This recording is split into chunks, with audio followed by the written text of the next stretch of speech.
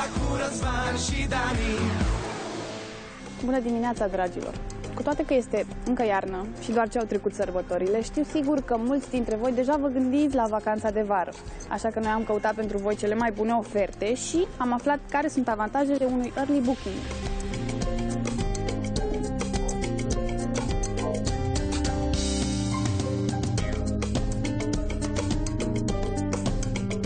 E bine să începem să ne plănuim vacanțele de vară încă de pe acum?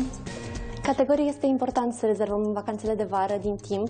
Noi am primit primele cereri din luna noiembrie și acum în continuare avem reduceri de early booking extrem de atractive pentru români.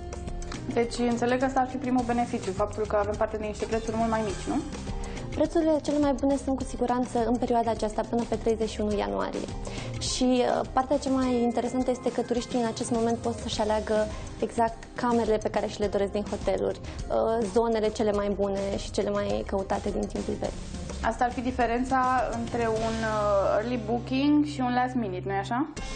Da, diferența dintre early booking și last minute este că în perioada de early booking ne putem selecta uh, cele mai bune locații, ne putem selecta cele mai bune hoteluri și de ce nu cea mai bună cameră, pentru că de multe ori uh, turiștii își doresc camera aceea cu vedere spre mare, cu uh, serviciile cele mai, cele mai bune, poate cu jacuzzi în cameră.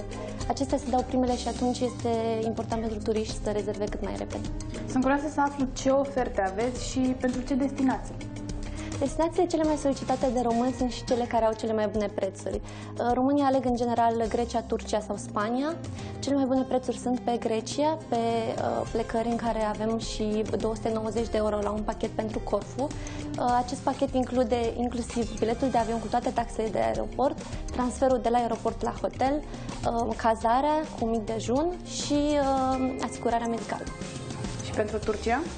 Pentru Turcia avem pachete all inclusiv care pornesc de la 298 de euro pentru o cazare la un hotel de 4 stele, uh, la care um, de multe ori merg familiile cu copii, pentru că au la discreție mâncare, băutură, uh, distracție, majoritatea hotelurilor au o mulțime de facilități pentru copii, dar și pentru adulți.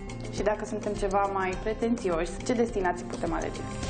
Pentru cei mai pretențioși, noi recomandăm uh, varianta exotică a Europei, uh, o vacanță la ocean, la Tenerife, de exemplu. Uh, acolo pot alege inclusiv excursii opționale, pot să vadă acel nisip negru celebru în toată lumea, pot să meargă la Royal Park, care este un parc foarte cunoscut și, bineînțeles, se bucură de farmecul spaniol, de sangria, să, să danseze, să simtă ritmul latino din Tenerife. Și de, de ce prețuri vorbim, dacă în cazul în care vrem să alegem Tenerife?